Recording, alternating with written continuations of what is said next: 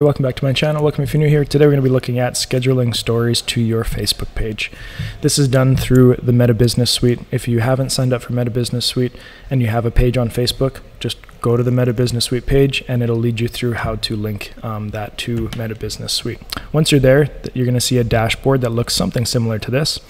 You can either hit the More button and go to Create Story, or you can go to the Planner page and you can choose when you want to schedule your story to happen. Maybe tomorrow I want one, so I'm going to hit schedule story.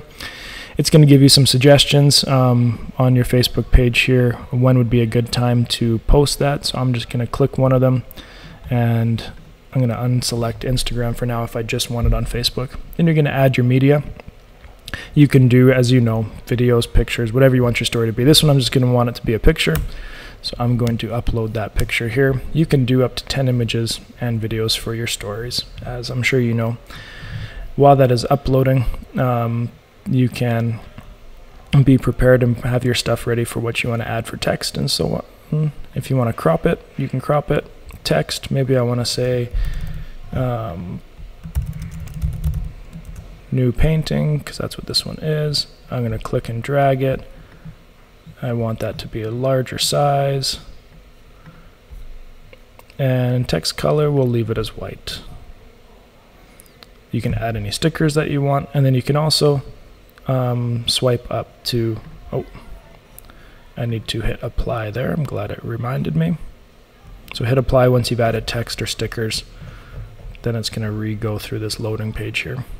And then if you want, you can hit swipe up for a link, the web link or shop link if you have any that um, attached to your Facebook page or not. I don't have a product for this one right now. That was just a custom painting that I did.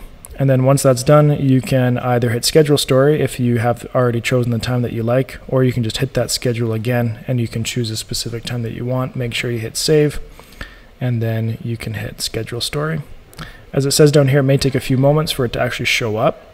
So Oh, there we go. That was actually pretty fast. It showed up right there. You can see if you click on it, then you can edit it, you can reschedule it, and you can delete it. So that's how you schedule a story using the Meta Business Suite for your Facebook page. Thank you for watching this one. If you have any questions, please let me know in the comments below. We'll see you next time on Brian Sloan Artist.